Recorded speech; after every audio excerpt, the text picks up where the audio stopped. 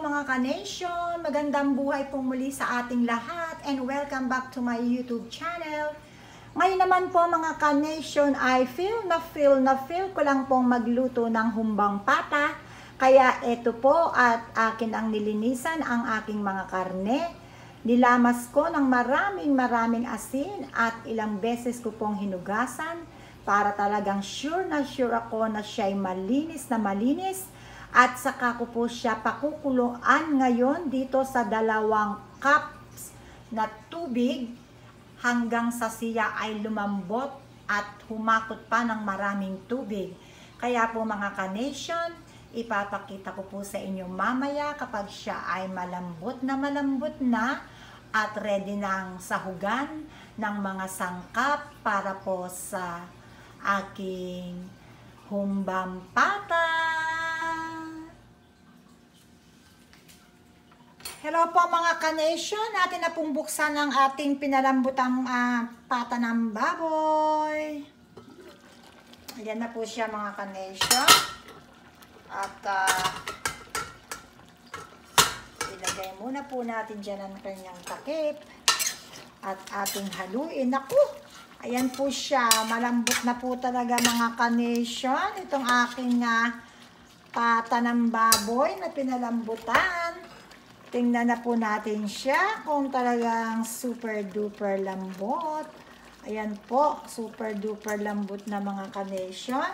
So, ang ginagawa ko po mga carnation, pag nagluluto po ako ng humba, half cup po ng uh, suka. Half cup din po ng toyo. Lagay din po natin itong bawang.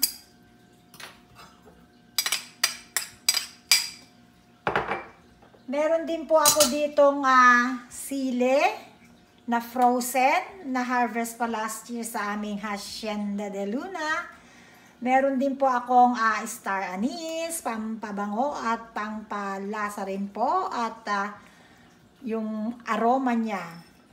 Ayan po yung uh, uh, pamintang buo.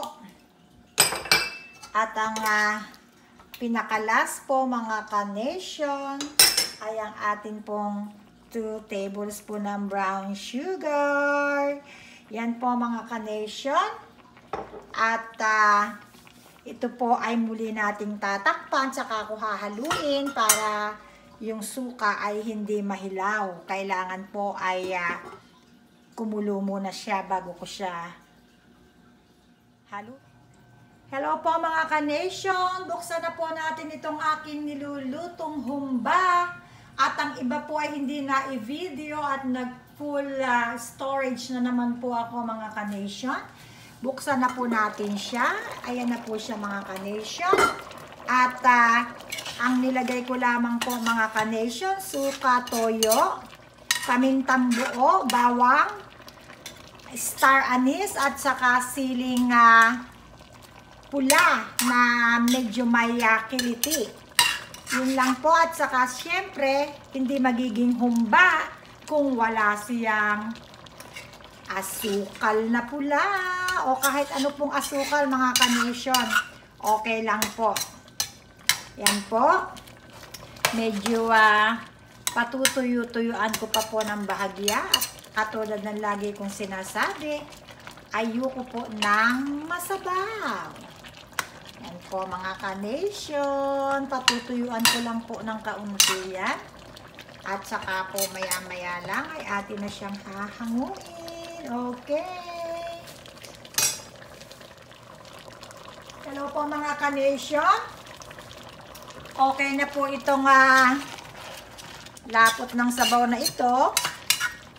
Kaya ito po ay super duper luto na po. Pero tikman muna po natin ang sabaw.